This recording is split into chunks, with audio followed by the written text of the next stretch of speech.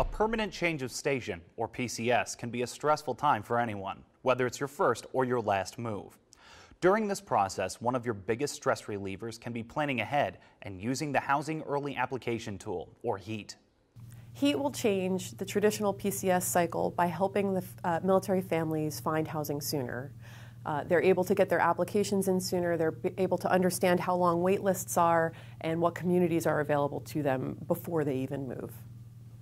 HEAT can help you find government owned, privatized, or community housing. To apply, visit the Housing Early Application website. For more information and helpful tips, go to the Military OneSource website. From the Defense Media Activity, I'm Petty Officer Ian Cotter.